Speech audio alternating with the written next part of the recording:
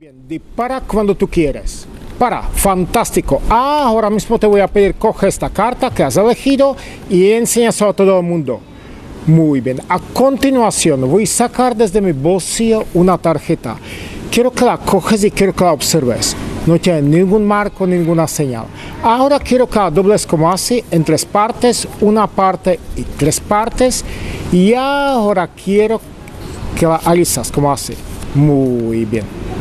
Ahora ponemos sobre el plato y vamos a observar si sale vuestra carta.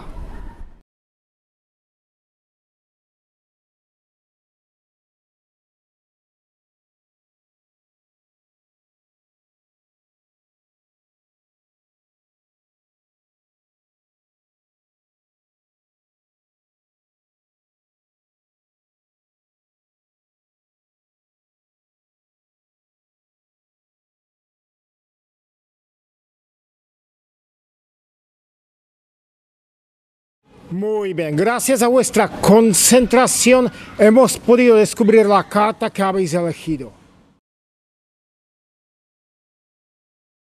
Recortaré papel del color al tamaño de la carta.